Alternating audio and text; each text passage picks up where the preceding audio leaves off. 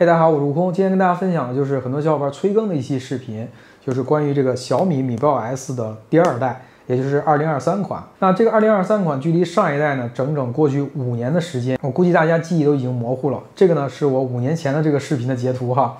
我知道你们想说什么，岁月是一把无情的杀猪刀，我直接替你们说了。我不得不承认，确实胖了很多。那这个小米盒子这五年有哪些变化呢？你先别激动，它并没有胖。那最新一代小米盒子呢，它做了一个处理器的升级，由之前的 S 九零五叉一升级到了 S 九零五叉四。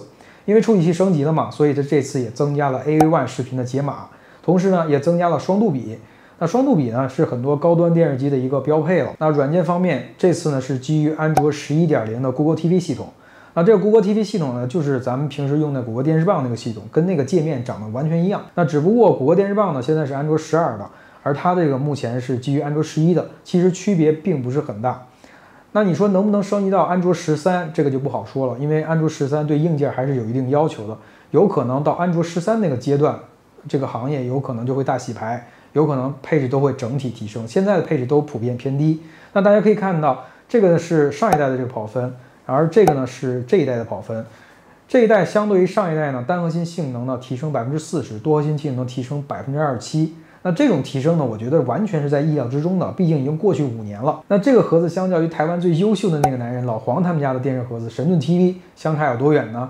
大家可以看一下，二零一九年的神盾 TV 呢，在单核心性能方面是小米盒子的两倍，多核心性能呢是它的一点六倍，真的是人比人气死人。你说一个造显卡的、造 AI 芯片的公司在这添什么乱呢？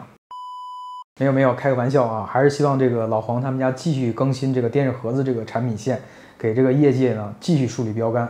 好了，前面就不废话了，马上开箱。好，大家可以看到这次这个小米呢是采用一个塑封的包装，它内建的是 Google TV 的系统。那每一个小米的盒子呢都有一个唯一的这个型号。这个呢是 MDZ 二八 AA，从那个外包装不难看出它是支持这些流媒体的授权的。我们再看一下这个底部，大家可以看到很多的标志啊，包括 HDR 十加，包括双杜比的标志，还有 DTS HT，。那至于这个 DTS HT 能不能直通，等一下我们再做一个测试。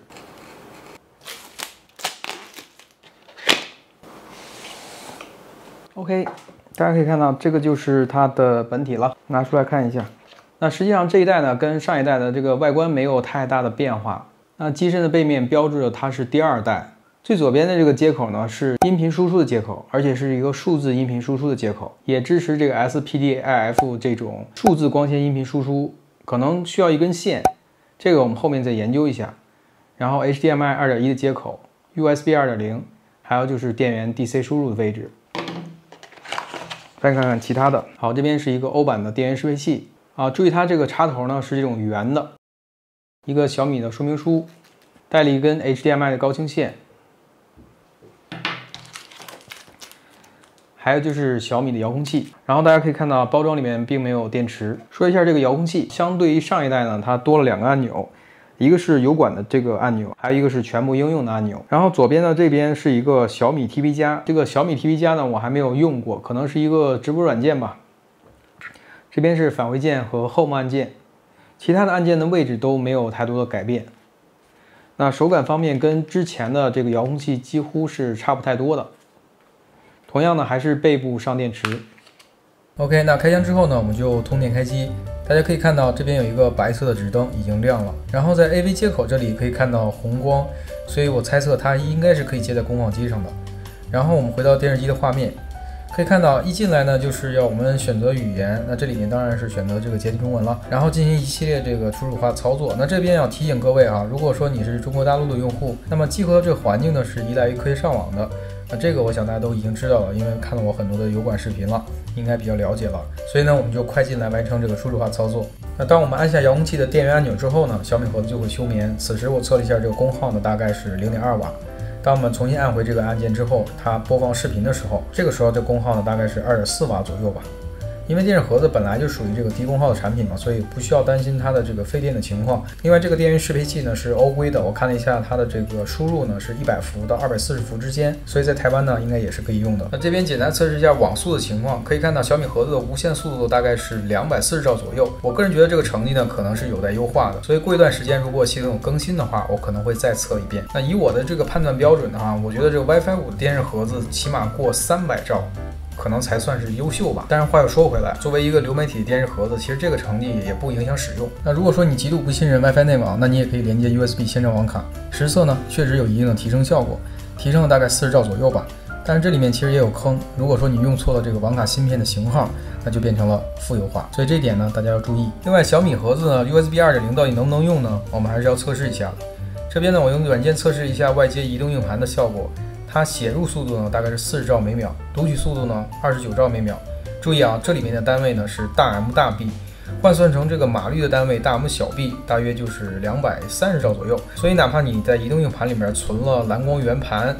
啊，至少在文件的读取上不会造成瓶颈。如果卡顿的话，就只能找找解码方面的原因了。好，大家可以看到，这个就是进入主界面的一个效果。很显然，这是一个 Google TV 的系统，跟谷歌 TV 简直是一模一样。那对于小容量电视盒子，我们比较关心的就是它给用户的剩余空间。那这边呢，点开设置，可以看出它的剩余空间是三点八 GB。比谷歌 TV 呢，剩余空间要大了一点七 GB 左右。当然了，这也其实也是五十部小百部都不大。所以各位呢，不要试图安装过多的应用。如果剩余空间太少的话，可能会影响播放的缓存。啊，但是这个系统呢，其实有一个小问题吧，也不算是问题，就是新手比较困惑的地方，就是可能你找不到这个 Play 商店的入口。啊，的确啊，它确实没有这么设计，它就是想让你这个搜索应用的时候，在这个地方去搜。但是这个地方去搜呢，不是很方便。所以为了解决这个问题呢，我这边呢也是开发了一个小的软件，就是一个图标，就是这个图标。如果你需要的话，可以在视频下方找到那个链接去下载一下就行了，非常简单，我就不赘述了。那关于这个怎么去下载第三方应用，我在视频下方的这个描述区会给出一个视频，就是一个短视频，大家可以参考那个视频就可以了。我保证你可以学会。光看这个外表呢，大家是看不出什么东西呢，所以我们还是找到这个系统设置。长按这个 Home 键，然后调出这个侧边栏，然后点击这个设置。我们在这个设置里面可以看到，表面上这么一看跟谷歌 TV 是差不多的，但如果你细看的话，还是不如谷歌 TV 完善。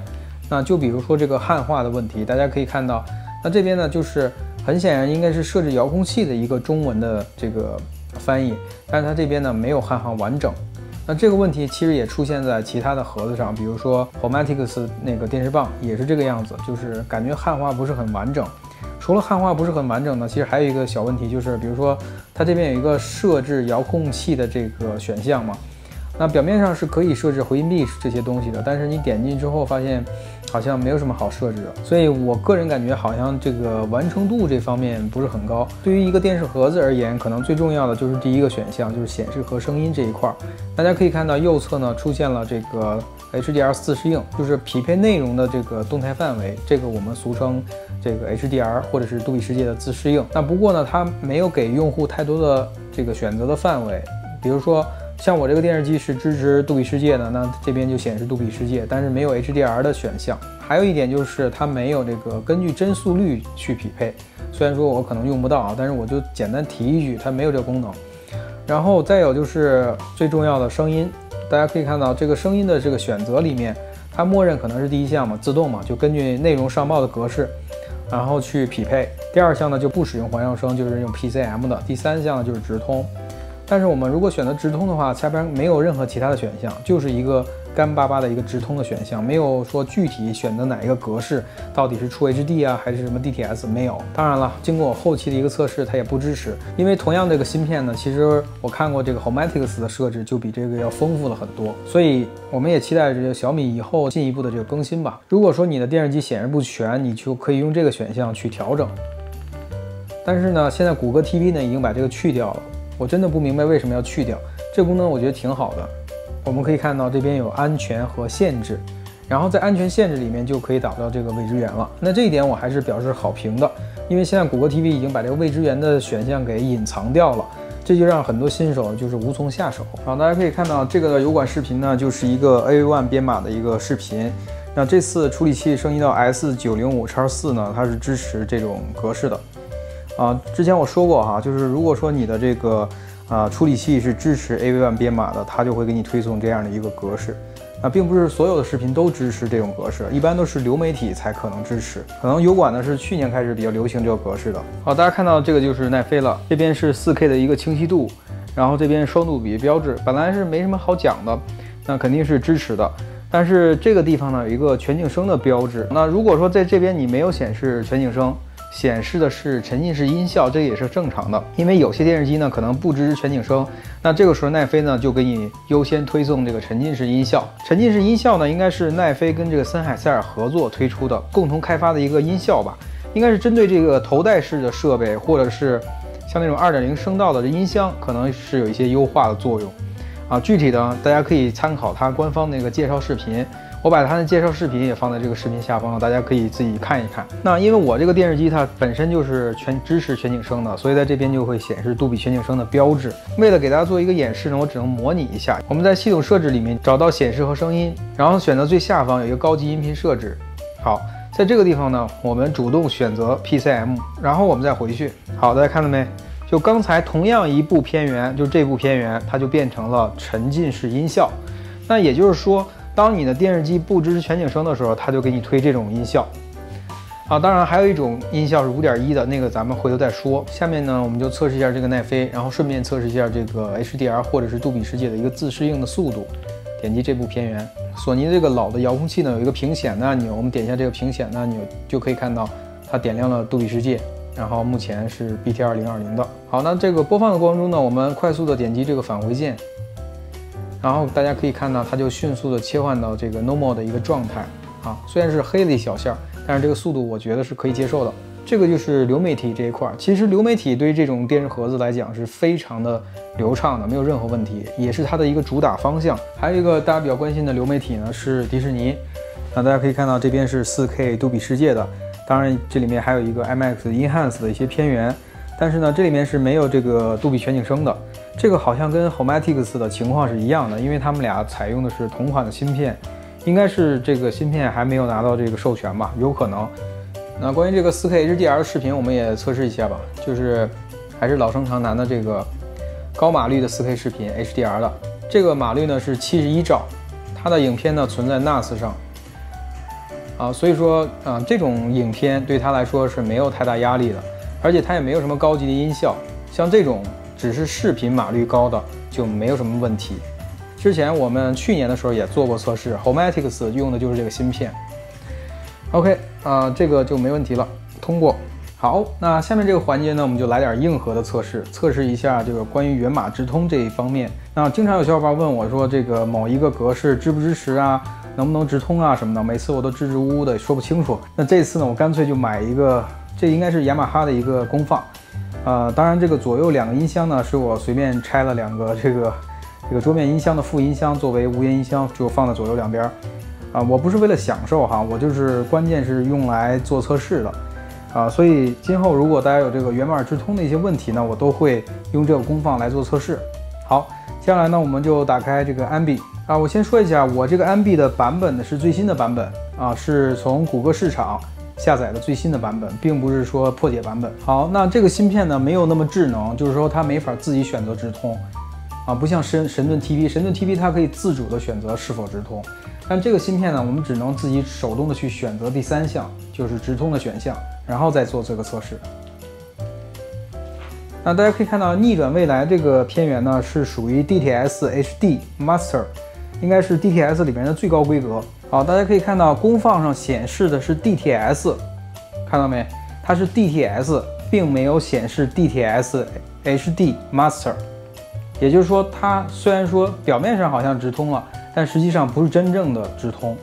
我我理解的意思就是，它可能是降解了，可能是用的 DTS Coral 这种核心，它并没有真正的直通。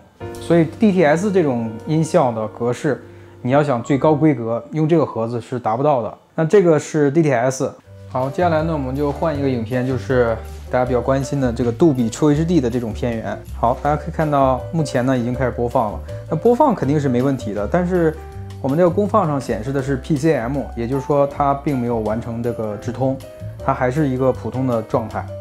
所以说这个盒子呢，你要想完成这个直通，这是不可能的。啊，当然了，对于一般人来讲，可能不需要直通。我只是给大家提个醒，这个盒子呢是没有这个源码直通的功能的。但是比较奇怪的是，其实杜比 True HD 的这个直通呢，在其他盒子，就是其他品牌呢是做过这个调教的。就比如说 Homatics，它是做到这个 True HD 的一个直通的。所以我不太清楚后面小米有没有这个软件方面的更新。OK，就测试到这边。那最后呢，我们简单总结一下这个盒子呢，我觉得作为日常串流带奈飞认证的一个流媒体授权的电视盒子，我觉得是 OK 的，合格的。4K 双杜比又支持 AV1 编码的一个视频解析，这种高码率的视频呢，也丝毫不卡顿。那这些呢，都是它的优点。那缺点方面，我也说两点吧。第一，这个存储空间还是二加八 G 的这个万年祖传的这个配置。那如果你安装比较多的应用，我相信一定会影响到系统性能的。那第二点呢，就是可能是由于上市不久吧，它的这个系统完善度呢，我认为是不如这个迭代了三年的谷歌 TV 系统的。啊，当然这样比较呢，确实有点不公平。那如果说后面有重大的更新，我也会单独的解说。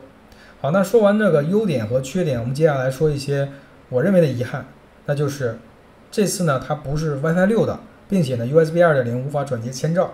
早在二零二一年，Fire TV 就已经是 WiFi 六了，啊，就像民间流传的一句话哈，那就是范儿 TV 要有中文，早就卖爆了啊。以上呢就是我的一个又臭又长的一个带有陪伴性质的测评。那我其实本来是想在周末之前做这个视频的，但是我实在是做不完，因为要测试的东西非常多，包括一些散热的情况。那我可以告诉你，这次它的散热表现非常的良好，非常好，一点都不发烫。OK。那今天这视频呢，就先啰嗦到这边。那如果大家有什么疑问的话，欢迎在视频的下方留言。我们本次视频到此结束，我们下一个视频再见。